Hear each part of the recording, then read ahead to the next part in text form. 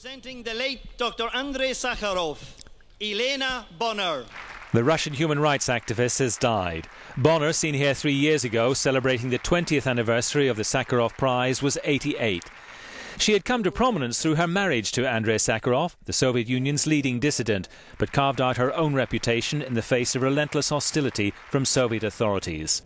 The tough talking Yelena Bonner met her husband, the shy nuclear scientist, in 1970 and went on to become his only contact with the outside world during nearly seven years of internal exile.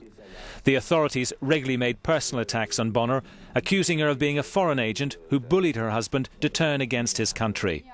In 1975, Sakharov became the first Soviet citizen to be awarded the Nobel Peace Prize.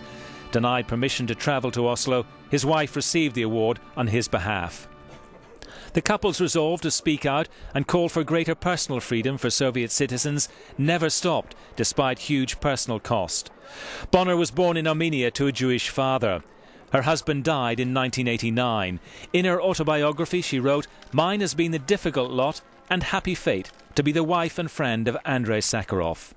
In recent years, Yelena Bonner lent the weight of her voice to those opposing the leadership of Vladimir Putin.